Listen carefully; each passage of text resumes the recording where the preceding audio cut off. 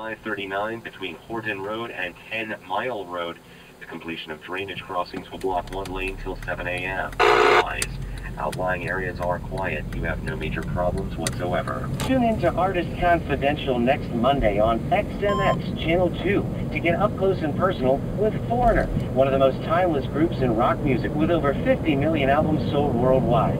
Artist Confidential is brought to you by MasterCard's Roots of Rock. XM Instant Weather. The forecast for Seattle, it's 73 and fair. Wind is light and variable from the north. Today, partly cloudy with a high in the low 80s. Wind will be light and variable from the north. Tonight, thunderstorms with a low in the upper 50s. Wind will be light and variable from the west-northwest. Then tomorrow, thunderstorms with a high in the mid-70s. Wind will be from the west-southwest at 5 to 10 miles per hour. Tomorrow night, thunderstorms with a low in the upper 50s.